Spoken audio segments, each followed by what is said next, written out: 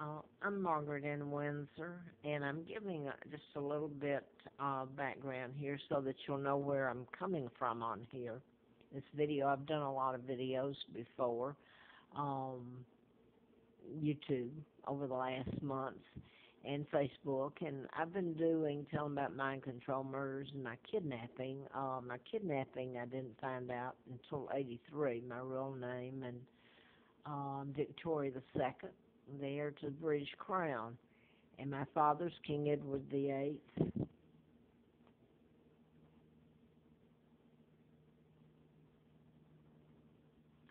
And uh, he did not marry Wallis Simpson, as they said. Um, history would have you believe this is the double that married her. She was born out of wedlock, um, and the reason I'm saying that is things have been done in patterns here, the murders and all of it. Uh, I was brought to Molson, Alabama, and given the name of a twin, Peggy Ann Dempsey Childers. Married to Childers, Carl and Peggy were both dead. And uh, I, when I was able to get the birth certificates and his death certificate, Carl's, uh, she was fed to the pigs, plain and simple. Not laughing because it's funny; it's hideous that if any of this has been allowed to happen. Um, but I got the twins' birth certificates, and they had simply marked through, which is illegal. State of Alabama, Montgomery, uh, had marked through the dates they were born and put the date that had been given me as January the 7th of 39. There was even a different year. So all of the things have been done to me are illegal. I'm 75 years old now. You all, the United States, have had me for two years, and um, I mean for um, since I was age two. So you've had me 73 years, and it's been sheer hell every moment of it. And laws that were broken and committed that nobody has done anything other than benefit from. Uh, the woman that um, they left dropped me off with Lina Dempsey, the twins' mother. I mean, she would have faced the um, gas chamber in Alabama, and I could keep going on this. And uh, that's the way they got her to comply. Anyway, um, my uncle George helped kidnap me. This is a picture uh, in '39. Roosevelt had appointed Joe Kennedy ambassador to Great Britain during that time, and the New World Order and the Rockefellers, Rothschilds, I said the Kennedys, uh, Freemasons have uh, orchestrated and helped take down my father and my kidnapping. Now, my Uncle George uh, sold out his own country, and he's illegal. It was an interim government was that was put in place to my father to get it straightened out. My father was a great man. Um, and that's why they got rid of him. And then when I came along in '39, uh, I was the legal heir and still am. But uh, this woman sits there, and she's using my money and um, sold out Great Britain. Uh, she's a traitor, and they should be tried as such, the worst kind of criminals. Uh, instead, you're um, trying these people that I've been telling about mind control murders. Uh, now, my mom is Georgia O'Keeffe's sister, uh, Claudia Ruth O'Keeffe. George is the artist. And um,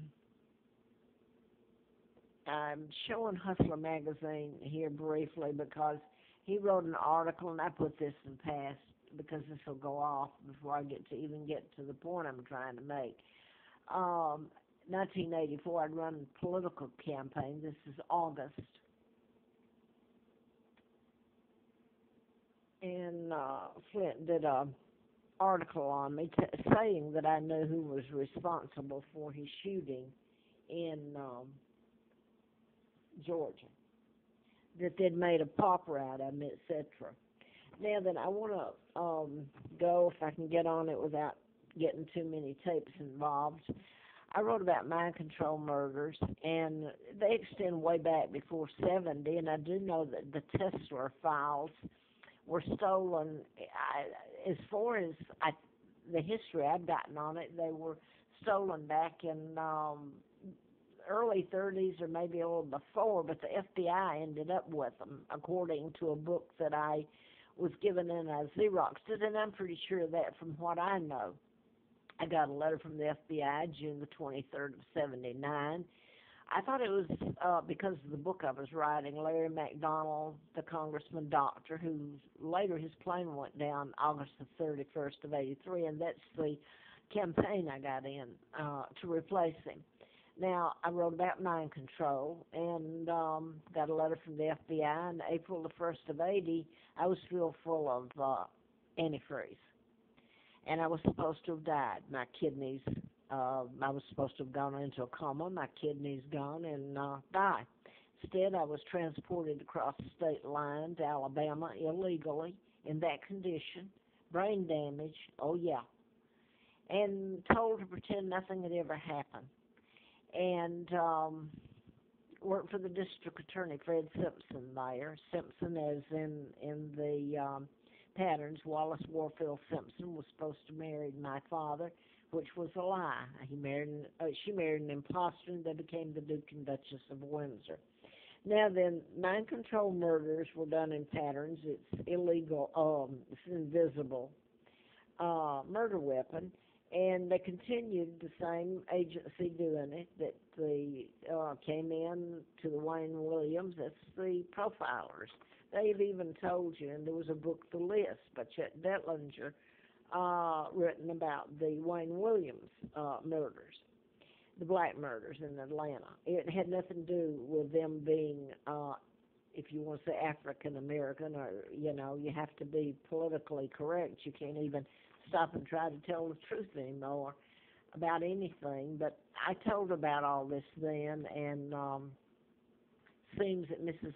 King or nobody was interested in it because it would tell about who I am and my kidnapping and about the takeover of South Africa, um, which was uh, a lot of it British. And, by the way, colonies, which uh, Elizabeth and her father um, signed treaties that are illegal that gave the United States um, access to put their military bases all over British soil, hold the British hostage. They kidnapped me. I'm a hostage. I can't move around freely, or I mean, it, it's really hideous what they're doing to me in plain sight here, have for all these years, and and so Great Britain is um, a hostage. And now then, today I wanted to get to this. Nigeria was a uh, British colony, and it got its independence. And now then, what I've been telling about is the United States goes in and they create uh, chaos. And they've used mind control. It's so mass at this moment. I can't say for sure that these people that did the kidnappings over there in Nigeria that they're under the influence of mind control, but I do know that it's so widespread now, used by this country. It's a weapon they don't talk about. But I've been telling about it. That's the weird thing. And uh, I wanted to say this. They've just sent, under the guise of being the nice guy and friendly, and the U.S. Congress here is all boohooing, they could care less. It gives them access to look good and go in like they're being the heroes when they're the cold-blooded killers. And I've sit here all these years. I've gone up there. I've fallen down because I was so hungry with a letter from the FBI where I did the book in 82 I did. I was uh telling about the Hinckley. John Hinckley was um shot Reagan and the press secretary Brady he was under mind control. And um, all they did, all anybody has done over these years, I've gone to the press, the press here in Roanoke's known for it since I came here in '86. They all knew about my kidnapping before I did. So the U.S. Congress, uh, to pretend that they're concerned about